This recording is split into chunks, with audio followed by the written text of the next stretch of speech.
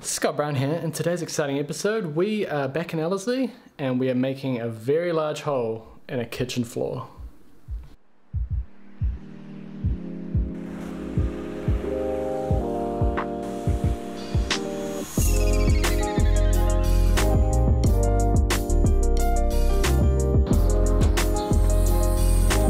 Now the thing about renovations is you have to do them in stages. We extended this house, we did a lot of episodes about it. They've moved into the extension now, they're settled, they're happy, so now we can move into the kitchen and tear that apart.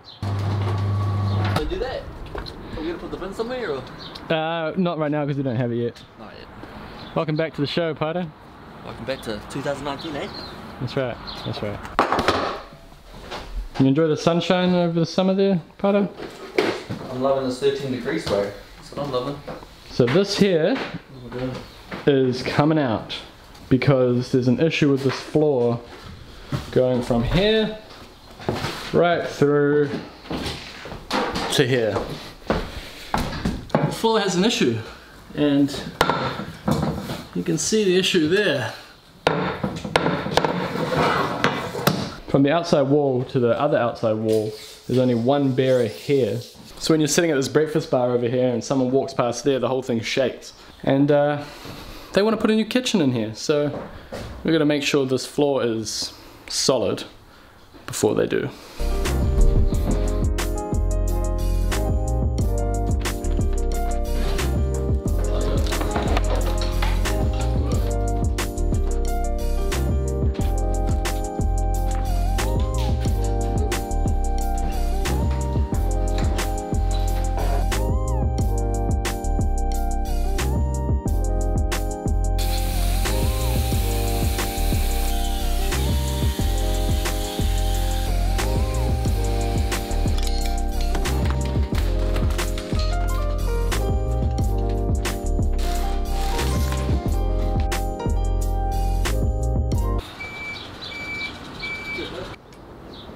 So there's our post, and there's our concrete.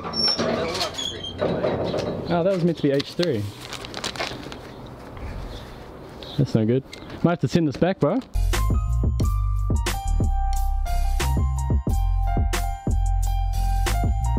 Posts and the bearer is wrong. Thanks, minute. The bearers are H1.2 and they're meant to be H3, and the posts are 150s, but they're meant to be 125s. Well, that happens from time to time. The posts are wrong, the bears are wrong, but they're gonna swap them, so. Wow, wow. No Chef Pie this morning. Chef pie. Chef Pie. Chef Builder's Pie. See you in a minute. See you soon. Pie's getting a pie. Ah, so back at the Ellerslie job. As I said at the beginning of the episode, we have been here many times. We don't have that much to do. So we're gonna replace a big fat window over there. And they're gonna get this kitchen done. We're not doing the kitchen, we don't really do kitchens. Doing your soup there? Mm. Does Chef Scott make that or Chef Jess? Bro, this is just the um Oh, the the pouches. Good, eh? Like. California wellness ball. Awesome. Stuff off the order, right? It happens, bro. It happens. True. Post replace. So, hey, that was a very quick turnaround. What was it, like an hour? What's that, the... Oh, yeah, that's real quick. Less than that? I'm not that busy yet, eh? Haven't really kicked, kicked it into gear. No one has yet. Yeah. I think hard. after, after this week, everyone... Bro, you notice how few people back. are around, like, in this, Yeah. in this town and everything? Yeah. Very relaxed here in New Zealand at this time of Traffic year. is uh, still pretty pretty good.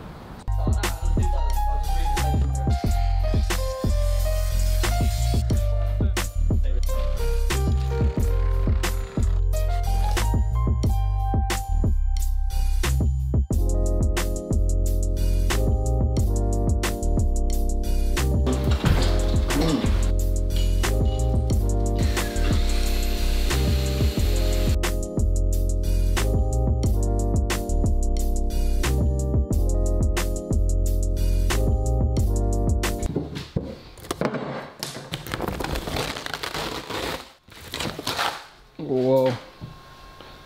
That's a big spider web. Seems like a bit of a shame to be cutting a nice floor up there, Pardo. I know, hey. Doesn't seem Doesn't seem right. doesn't seem right at all. It's candy floss. Mmm, yum. So we're actually ripping the whole thing up. We're not doing it carefully because there's going to be a whole new floor going over the top of this floor. So we're going to rip a huge strip up the middle and then replace it with plywood, not...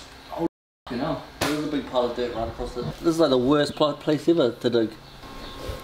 See, see what I mean? The big mountain there, Oh yeah.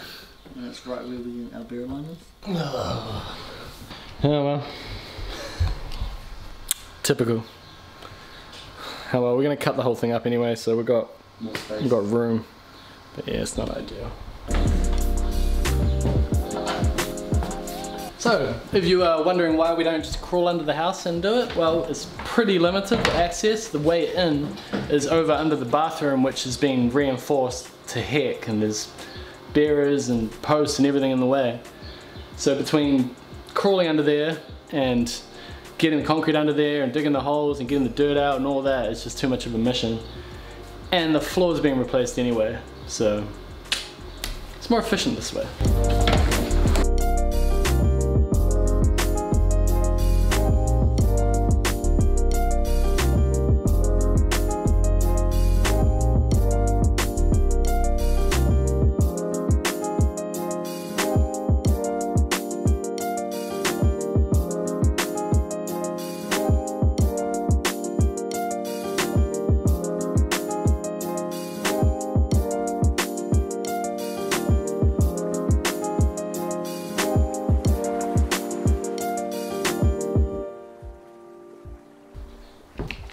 Unbelievable. Fucking hell, we're missing- Piles of concrete. Piles of concrete.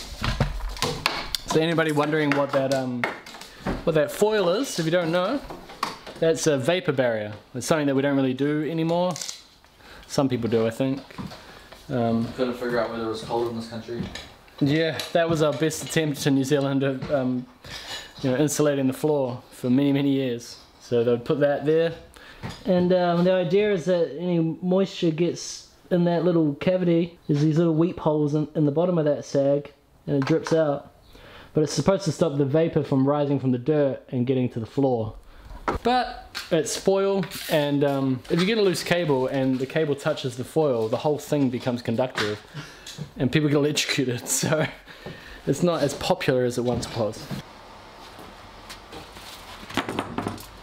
Okay, well, the client did warn us that where we plan to put a bearer, there would be a big pile of rubble, and he wasn't wrong.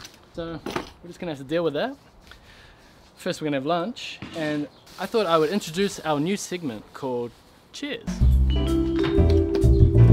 As the channel's been growing, a lot of people have been sending us stuff and giving us stuff, and which is super cool. So I thought I would introduce a segment that uh, thanked those people. So first up, Kameron from Systematic Homes gave me this sucker here for as a Christmas present. It's a DeWalt laser. It's a crossline laser. Got a little ding ding. Screw it to the wall using this bracket, and it's also got a magnet here so you can put it to steel stud. And then you turn that on, and it shoots a plumb line and a level line. So thank you very much, Kameron. I greatly appreciate it. And the second person I wanted to thank was Carpenter13 because he's doing some really cool stuff over on Instagram. Um, he started his account maybe three or four months ago. He, he does a lot of like custom carpentry tools. So he does benches for his drop saw and a lot of cool stuff. And lately he's been doing router plates for the Makita routers. And they're pretty damn cool. He's sort of like evolving them as he goes. He does these super cool router plates. He's sending me a whole bunch of them. I'll pop up some proper pictures here. And, um, and a link will be down below if you want to go check them out for yourself. He even named one of the router plates after me. It's called the Scott Brown plate.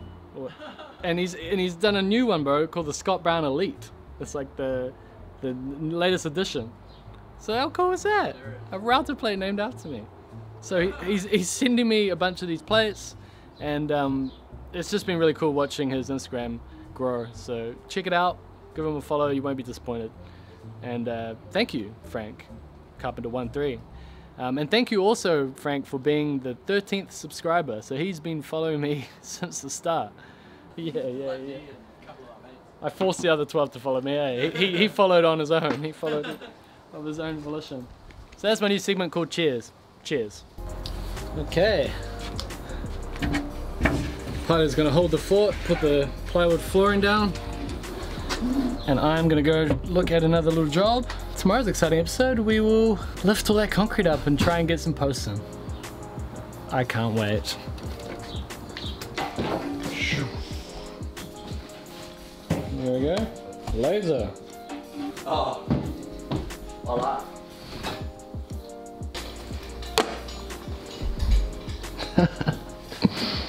That's cool as.